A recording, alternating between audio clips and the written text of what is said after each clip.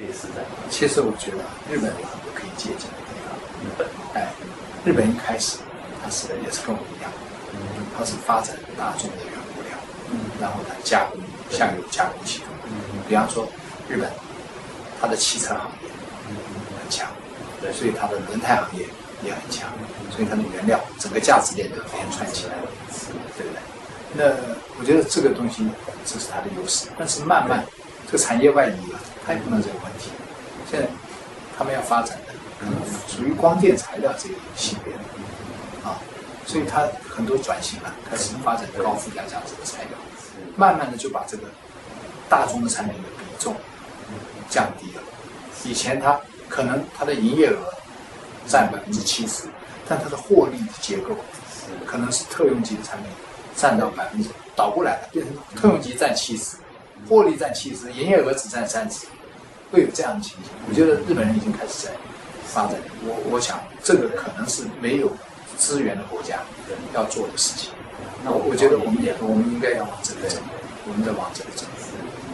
你说还去搞那个大量生产，大量要用到原有的东西，那你没有条件嘛？对啊，对，你哪里搞得过中东这些国家？所以未来应该台湾的化工业、石化业应该是什么精品、精品、精致，就是看一些高附加价值的产品在哪里。你像台湾有这种光电产业，有 IT 产业，他们用的一些特殊的这个材料，的啊，特别是跟化工有关的，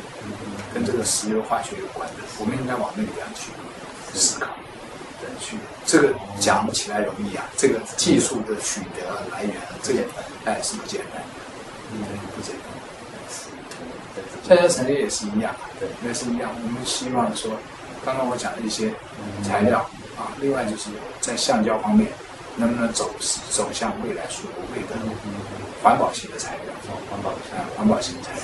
另外一个就是所谓这个轻薄短小啊，轻质轻质化的材料。亲子化哎，我讲轻就是很重量不重的啊，这跟节能节能也有关系嘛。嗯你像轮胎如果轻质化，它这个燃料的那个油油的耗油耗耗油耗低，其实它是跟环保有关系的。应该慢慢往这个方面去发展，啊，发展一些特用的材料、特殊材料是可以节能、节省省油啊，甚至于是环保啊这一方面。